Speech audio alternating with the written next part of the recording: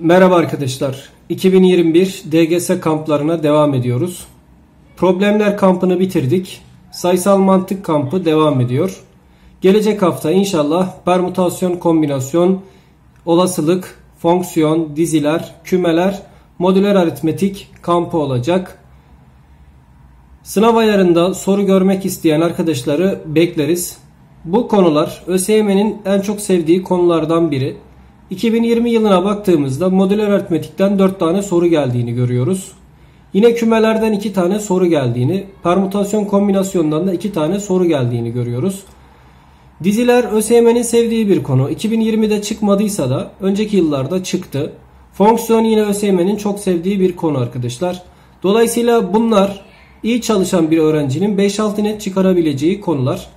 Derslerimizin linki, başvuru linki videonun altındaki açıklamada var. Dersler Zoom üzerinden yapılmakta ve dersler akşam olmakta arkadaşlar. 9 ile akşam 9 ile 11 arası ders videoları kaydediliyor. Siz canlı olarak katılıyorsunuz. Sonra kayıtlı videolardan tekrardan izleme şansınız oluyor. Dersten önce size PDF gönderiliyor. Siz PDF'te çıkacak soruları yani bizim çözeceğimiz soruları görüyorsunuz. O sorulara hazırlıklı olarak geliyorsunuz.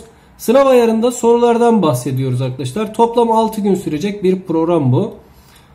Bu sorular sınav ayarında sorular. Sınav ayarında sorular çözüyoruz. Soruların tamamı bize ait arkadaşlar. Sınav ayarında soru çözmek, net arttırmak isteyen arkadaşları bekleriz.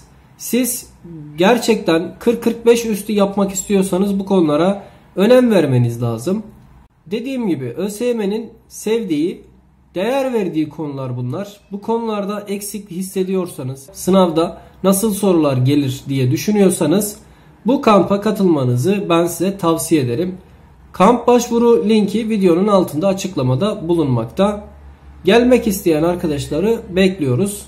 Kendinize iyi bakın. Görüşmek üzere. Hoşçakalın.